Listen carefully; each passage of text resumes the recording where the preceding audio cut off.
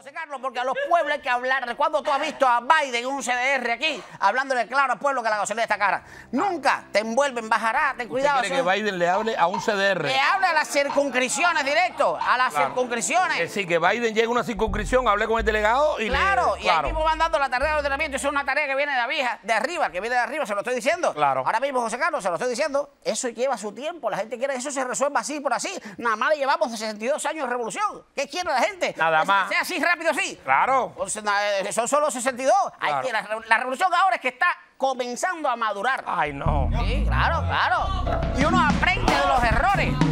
Uno, oye, ¿qué, qué son, de- qué son 62 años de historia? Nada, nada. Claro. Ahora va a estar madurando la revolución y poco a poco va a ir madurando. Usted a pre- es decir, usted siente, tiene olor a, a- a que está madurando ahora. Sí, por supuesto. Claro. Por supuesto, son 62 mil milenios, ya lo dijo la 62 mil- Ya lo dijo la compañera, 62 mil milenios.